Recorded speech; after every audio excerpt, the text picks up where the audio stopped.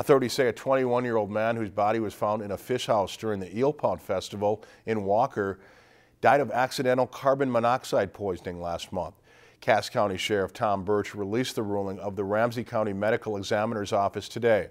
Samuel Shuley of Bemidji was unresponsive when authorities responded to an emergency call for help at the festival on February 25th. He was later pronounced dead at a Park Rapids hospital. If you enjoyed this segment of Lakeland News, please consider making a tax-deductible contribution to Lakeland PBS.